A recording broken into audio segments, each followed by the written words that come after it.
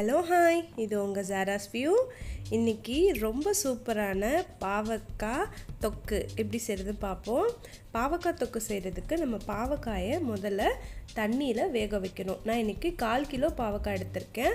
அதுக்கு நான் ஒரு அரை கப் தண்ணி சேர்த்துருக்கேன். அதாவது கிட்டத்தட்ட நூறு எம்எல் நூறு எம்எல் தண்ணியை பாத்திரத்தில் ஊற்றி கொதிக்க விடுங்க. கொதி வந்ததுக்கப்புறமா நறுக்கி வச்சுருக்க பாவக்காயை அதோடு சேர்த்துக்கோங்க.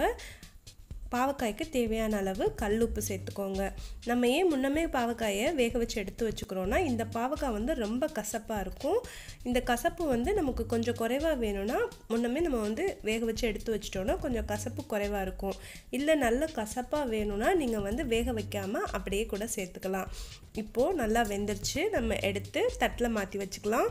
அடுத்து இப்போ நம்ம பாவக்காய் செய்ய ஆரம்பிச்சிடலாம். பாவக்காய் செய்கிறதுக்கு இது மாதிரி அடிகனமான ஒரு பாத்திரத்தை அடுப்பில் வச்சு சூடு பண்ணிக்கோங்க.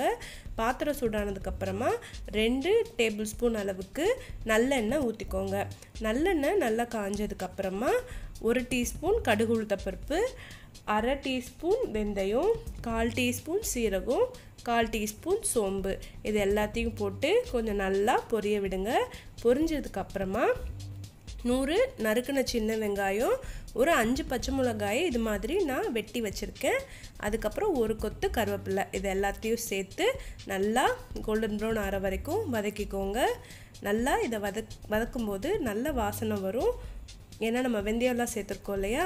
நல்லா வதக்கிக்கோங்க. அதுக்கப்புறம் ஒரு பத்து பல் போல் பூண்டு எடுத்து இது மாதிரி நல்லா உரலில் இடித்து சேர்த்துக்கோங்க. பூண்டையும் நல்லா பச்சை வாசனை போகிற வரைக்கும் வதக்கி விடுங்க.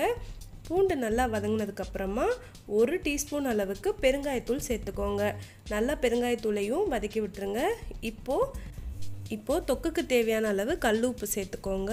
அதுக்கப்புறம் நறுக்குன அஞ்சு மீடியம் சைஸ் தக்காளியை சேர்த்துக்கோங்க. சேர்த்துட்டு நல்லா மசிய வதக்கி விட்டுருங்க. கல் வந்து பார்த்து சேர்த்துக்கோங்க. ஏன்னா ஏற்கனவே நம்ம வந்து பாவக்காலையும் உப்பு சேர்த்து வேக விட்டுருக்கோம்.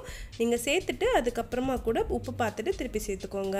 அது அரை டேபிள் ஸ்பூன் அளவுக்கு குழம்பு மிளகாய் தூள் சேர்த்துக்கோங்க. சேர்த்துட்டு அதையும் நல்லா வதக்கி விட்டுருங்க. அதுக்கப்புறமா ஒரு கோழிக்குண்டு அளவுக்கு புளியை கரைச்சி எடுத்து வச்சுருக்கேன். அதையும் இதோட ஊற்றிக்கோங்க ஊற்றிட்டு நல்லா கிளறி விட்டுட்டு ஒரு மூடி போட்டு மூடி வச்சுருங்க. புளித்தண்ணி கொஞ்சம் லைட்டாக வற்றினதுக்கப்புறம் வேக வச்சு எடுத்து வச்சுருக்க பாவக்காயை அதோடு சேர்த்துக்கோங்க. சேர்த்துட்டு கொஞ்சம் கிளறி விட்டுட்டு அதை மூடி போட்டு நல்லா புளித்தண்ணி கொஞ்சம் லைட்டாக சுண்டி வரணும். அந்த அளவுக்கு வேக விடுங்க. அதுக்கப்புறமா நம்ம அடுப்புலேருந்து இறக்கிட வேண்டியதுதான். இந்த பாவக்காயோட ஃப்ளேவர் இருக்குது அது அப்படியே செம்மையாக இருக்கும். எப்படி சொல்கிறது ப்ளே ஆஃப் ஃப்ளேவர் சொல்லுவோம் இல்லையா? அது மாதிரி அதோட புளிப்பு உரப்பு அதுக்கப்புறம் வந்துட்டு அந்த கசப்பு எல்லாம் கலந்து நீங்கள் சாப்பிடும்போது அப்படியே நல்லா ஃபீல் பண்ணுவீங்க. எங்கள் அம்மா பண்ணுற வெஜிடேரியன் ரெசிப்பியில் தி பெஸ்ட்டுன்னு சொல்லுவேன். சூப்பராக இருக்கும் ஆல் டைம் ஃபேவரட் நீங்கள் கண்டிப்பாக அதை ட்ரை பண்ணி பார்த்துட்டு எப்படி வந்திருக்குன்னு உங்கள் கமெண்ட்ஸை என் கூட ஷேர் பண்ணிக்கோங்க. இது மாதிரி இன்ட்ரெஸ்டிங்கான வீடியோஸ்க்கு நம்ம சேனலை சப்ஸ்கிரைப் பண்ண மறக்காதீங்க. தேங்க்ஸ் ஃபார் வாட்சிங் தேங்க்யூ